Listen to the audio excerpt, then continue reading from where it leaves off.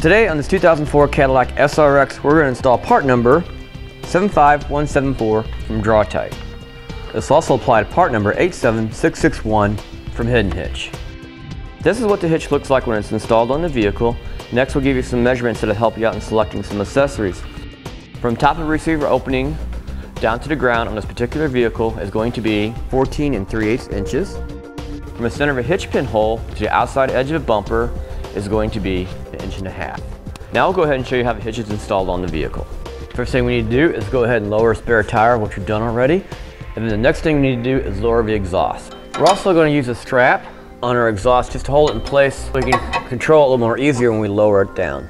We're going to spray down our rubber hangers with some lubricant, two in the back and one going towards the front. We can use just a simple pry bar to pry off the hangers.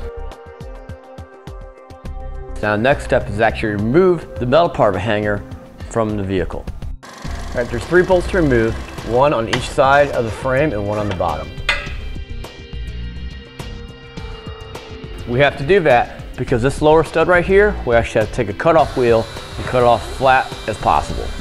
We got our driver's side done, we'll go over to passenger side and remove that bracket as well. All right, next step is go ahead and start trimming the heat shield out. We held the hitch up to it to see how much we needed to cut out and we made an outline on our heat shield.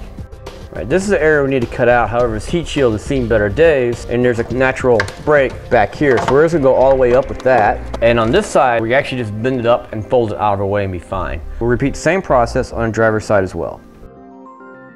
Okay, we did a couple tests with the hitch to make sure the heat shield was out of the way. Once we're satisfied with that, we'll go ahead and start cleaning out the weld nuts in the frame. These are three locations for weld nuts, here, here, and here. All right, it's gonna be identical on both sides of the car.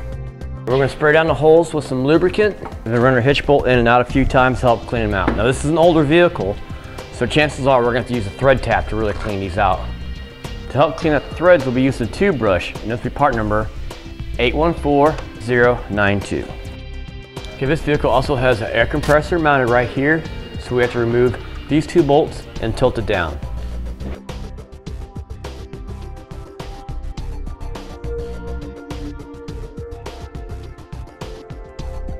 Now, the hanger brackets that we had to remove, we can go ahead and put them back into place.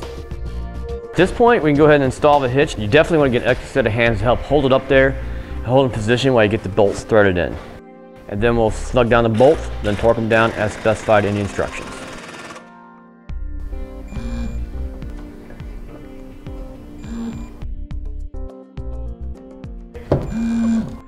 All right, next we can go ahead and reinstall the air pump. The hitch has a hole in it, so you can reinstall it and use the factory fasten. And on the back side here, the kit provides a block so it sits even.